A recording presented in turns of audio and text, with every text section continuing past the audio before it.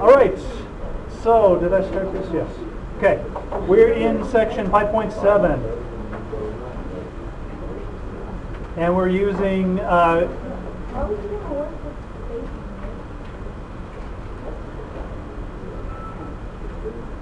we're doing geometry with coordinates.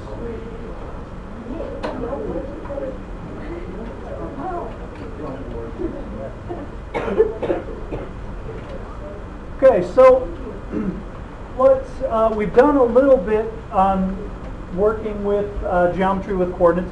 At the very beginning of the unit, we had some problems and on the quiz as well, where we plotted points, we graphed the points, and then we counted squares to figure out the base and the height of whatever our shape was to find our area. So we're going to do a little bit of that today, but we're also going to we're going to go a little a little further with this. So so that's the idea is we're, we're talking about where we're, we're plotting our vertices, that kind of thing. Let's, um, let's put the electronics away, please. Um, we have a few tools that we need. So for all of these, for all of these, we have some formulas. Uh, we have our points. x1, y1, and x2, y2. So we're talking about we're talking about points. We have a graph, basically. The distance between these two points. And we might already have this written down. I'm just writing it down again, just in case we don't. The distance is the square root of x2 minus x1 squared plus y2 minus y1 squared. So that's the distance between those two points. And we said this comes from the Pythagorean theorem. A couple of pointers on the distance formula. You should always end up with a positive number inside the square root here. When we're talking about a distance, we should always end up with a positive number. So if you end up with um, so once we square everything, we end up with a positive number. You could end up with a negative number in, in here, but once you square it, you end up with a positive number. So once you square everything and add it together, you should always end up with a positive. If you end up with a negative, you've done, you made some kind of mistake. All right, so the distance between those two points, this is our distance from formula. The midpoint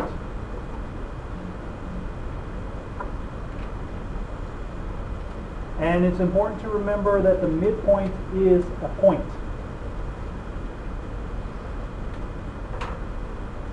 So we have an x and a y. At x1 plus x2 divided by 2, that's my x, and my y1 plus y2 divided by 2 is the y. So this is the point x, y. So we get a point here, not just a number, but a point. Another point that we could put on our graph. And the other tool that we're going to use, that we're going to work with, is the slope. Slope y2 minus y1 over x2 minus x1. And if it helps you remember, rise over run. The y's tell us how far up and down that we go. So the y has to do with the rise. X's tell us left and right, so that has to do with the run. So the slope is the rise over the run. y2 minus y1, x2 minus x1. We just take our whatever whatever we have for these points, plug them into our formulas to work with.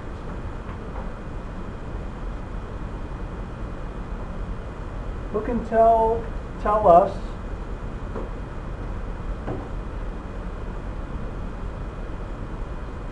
what we know about the slopes of parallel lines?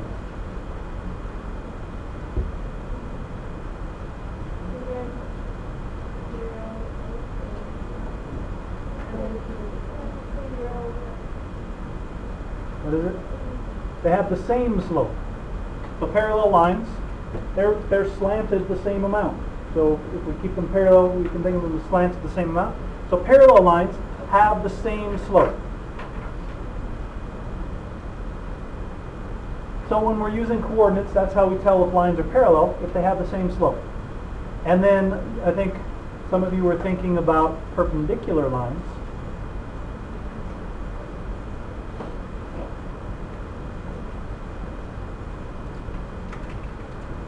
What do you know about the slopes of perpendicular lines?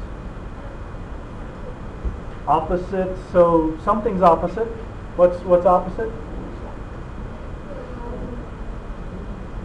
The rise and the run are switched around, and what else has changed?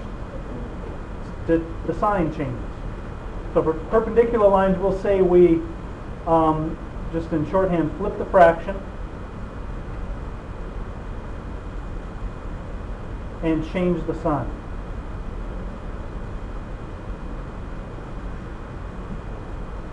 And the way we said it in kind of in technical technical language, we said that they were negative reciprocals. So whatever the fraction is, one half, we flip it over, it's two over one, and we change the sign, make it negative. So perpendicular lines, we flip the fraction and change the sign. That's how we tell if lines are perpendicular when we're using coordinates, is if we can flip the fraction and change the sign, we get the slope of the other line.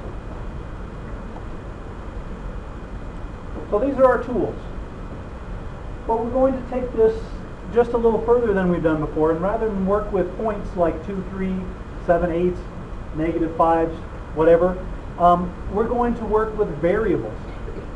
And the reason that we're going to work with variables is part of what makes math um, kind of a, a useful tool is that we can make it a little more abstract, and then, it, it applies to bigger situations.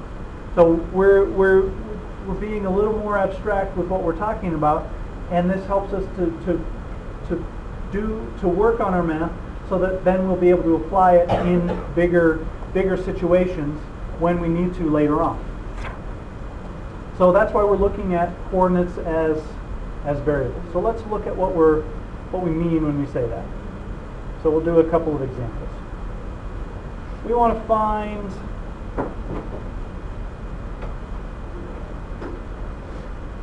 we want to find the slope between the points PQ and RS. So rather than numbers for, for the x's and y's, we have variables. PQ could be 3, 7, and RS could be negative 2, 5. So, so they, they just stand for some number. But we're going to do the same thing we've done before when we did have numbers. And my suggestion was label our points, x1, y1, x2, y2, and then we just use our formulas, just like we did before. So the slope is y2 minus y1, s minus q, over x2 minus y, x2 minus x1, r minus p. And that's all we can do with it. That would be the slope between those two, the, of the segment between those two points. Y2 minus y1, x2 minus x1. We don't have numbers for them, so that's all we can do with them. But we treat these letters just like we, just as if we, we were dealing with numbers. Let's say we want to find the distance between these two points.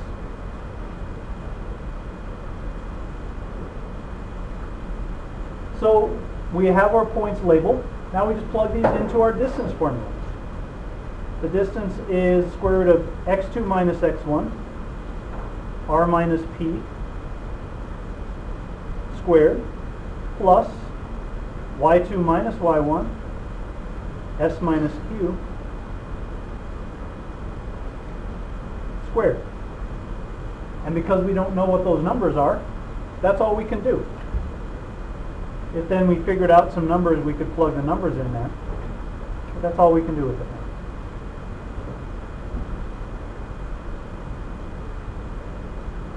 Questions on those two? Let's look at a midpoint.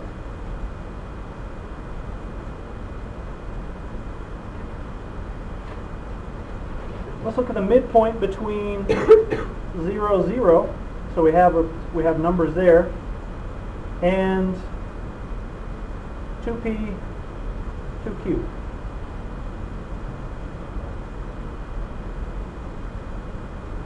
So we'll do the same thing. I'm going to label x1, y1, x2, y2. And again, it doesn't matter which one we call x1, y1, x2, y2, as long as we keep the ones together and the twos together. And I'm going to say the midpoint. Plug into our formula. x1 plus x2, 0 plus 2p, divided by 2. That's my x. And my y is y1 plus y2 divided by 2. And I can simplify this a little bit. What is 0 plus 2p? Just 2p? And what's 0 plus 2q? 2q. And what can I do with these 2's that are in the numerator and denominator? I can just cancel them. 2 divided by 2 is just 1. So my answer for the midpoint is the point P, Q. And that is my X and my Y.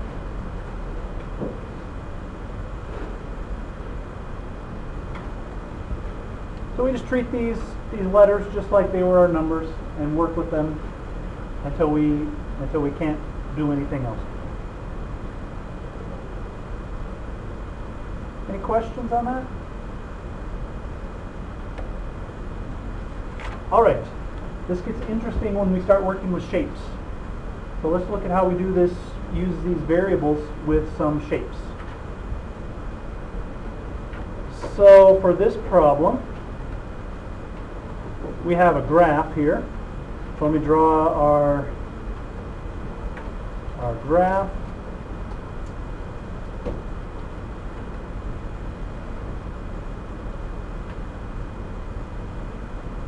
And we have a, we have some points here.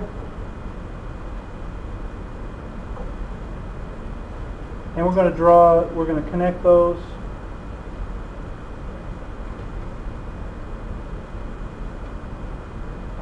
Like so.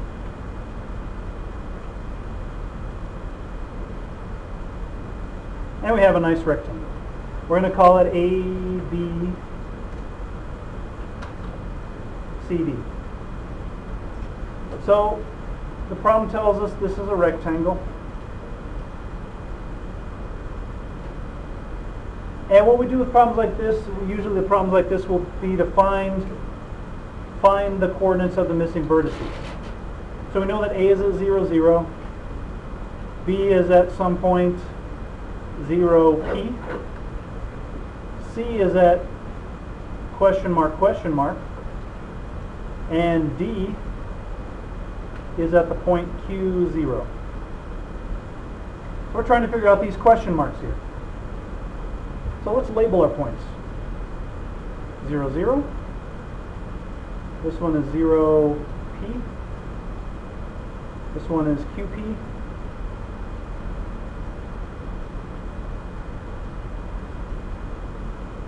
Whoops. Uh, this one is question mark, question mark. That's the one we're trying to figure out. And this one is at Q0. D is at Q0. So what a problem like this is asking us when we're looking at this coordinate is how far left or right? That's going to be our first number. And how far up or down? That's going to be our second number. The first number tells us left or right. The second number tells us up or down. So let's look at this point. If this is a rectangle, how far up am I going to get to point B on this side? I'm going up by P. So this side is P units long, whatever P is. So what do we know about this side of the rectangle? What's its length compared to this side? They're the same. So this side has to be P also. So how far up am I going to get to point C? P, right? I'm going from here, I'm going up P. So this number has to be P. And what do we know how far how far to the right am I going to get to point D? Q units. I'm going to the right Q. Well then, if this is a rectangle, how far to the right do I have to go to get over here? Have to go Q also. So that point has to be Q. I'm going over the same amount as I go to get here. So C would be the point Q, P. So what these questions are asking to figure out how far left or right, how far up or down from the information that we have and what we know about the shape.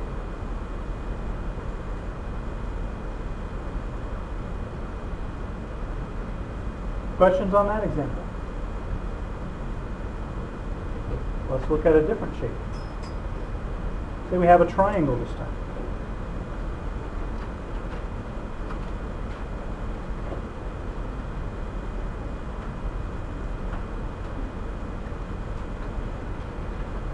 So let's draw in our triangle. And we know some we know something sp- special about this triangle. So that will let us solve the problem.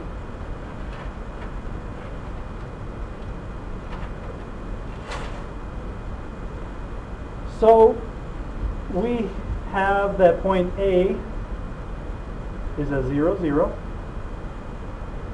B is at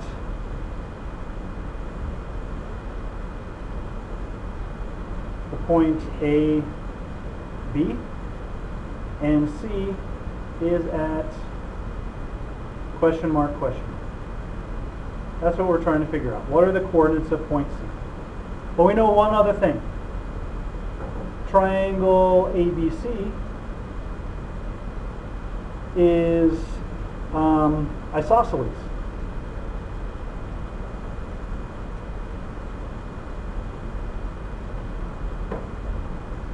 With segment AB equals seg congruent to segment BC. So the triangle is isosceles. So I'm going to label my vertices. You know this is 0, 0. This is AB. And we're trying to figure this one out. Well, let's do the easy one first. How far up or down is point C? It's on the x-axis, right? So it's it's the same amount up or down as point A. So what does it have to be? Zero. now we need to figure out how far left or right, how far to the right I go. Well, let's do our little trick that we often do with isosceles triangles. I'm going to draw, this little segment at a 90 degree angle. What does this segment do to the base of this isosceles triangle? Cuts it in half. How far over am I going on this first half? I go over to whatever the x is here. I'm going over by a. Go over by a to get here. So if it cuts it in half, how long is this segment? It's also a. And how long is the whole base? I have a, I have one a and another a, so I have two a. I have a plus a, so two a. So that whole thing is two a. So I go over by 2a to get to point C. So C equals a point 2a, 0. And if, if point B were at like, say, 2, 3, the point 2, 3, we would know that C would have to be at 4, 0. So we have to go over 2 to get to here, 2 to get to there, so the total is 4. We don't know what that length is, if all we know is that it's A, then it's 2A, 0. Yes? How do you know what, which letter to put for if you're going up? Like Up. for the first example, I guess you just put zero to. Um, so to go over, we knew from here, to get over to point D, I go to the right by Q units. So to get over here, I have to go to the right by Q, whatever Q is, 10, whatever, whatever number that has to be. So in order for this to be a rectangle, I know I have to go the same amount to the right to keep the sides even. So I had to go over by Q, whatever that is, to get to point C also. So I'm going over, over by that amount to get here. So I have to go to the right by that amount to get here. I go up, this tells me my up. I go up by P to get here. In order to get, have the sides stay the same, I have to go up by the same amount to get to this point. So this up has to be the same as this up. This right has to be the same as this right in order for this to be a rectangle. Okay? All right, let's look at one more example, a little more, little, little trickier. Well, not too bad, and then we'll be done. So for this one, we have a, we're going to start with a parallelogram.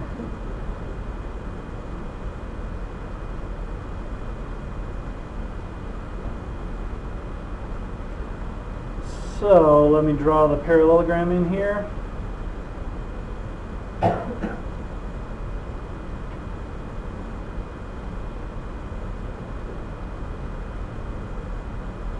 So there's my parallelogram. Let's call it uh, the parallelogram uh, D, E, F, G. And we know that this is a parallelogram.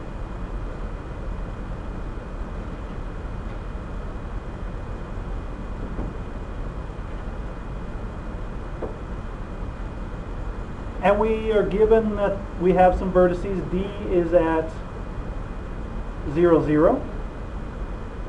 Uh, E, point E, has coordinates C, B. F is question mark, question mark. We don't know what that is. And G is A, 0. So I'm going to label my points. This is 0, 0. This is uh, CB.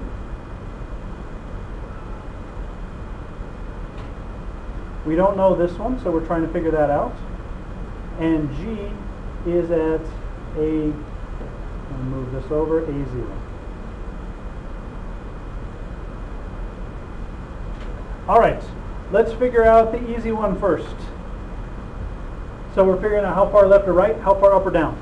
So if this is a parallelogram, how far up do I have to go to get to point F? Now remember that this, the first number tells me left, right. The second number tells me up or down. So point E, I go up by B units, whatever B is. I go up B to get to E. So this tells me up. In order for this to be a parallelogram, I have to go the same amount up to get to F. So this would have to be B, going the same amount up. Now the left to right is a little trickier, but what I'm going to do is draw this little triangle here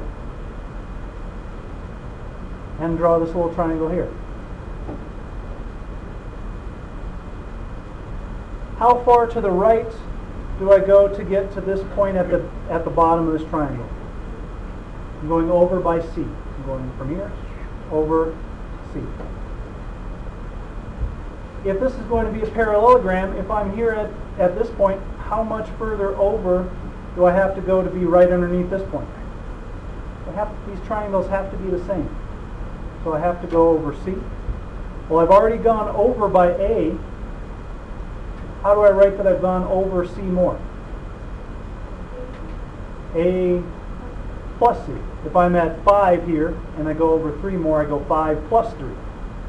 So I'm going over A plus C. So that would be A plus C.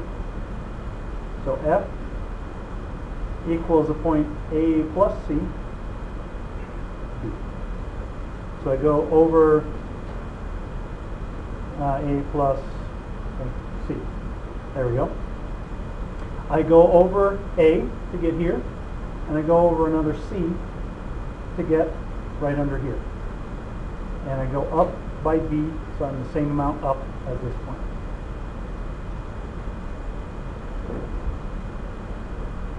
So we're trying to figure out how far left or right, how far up or down.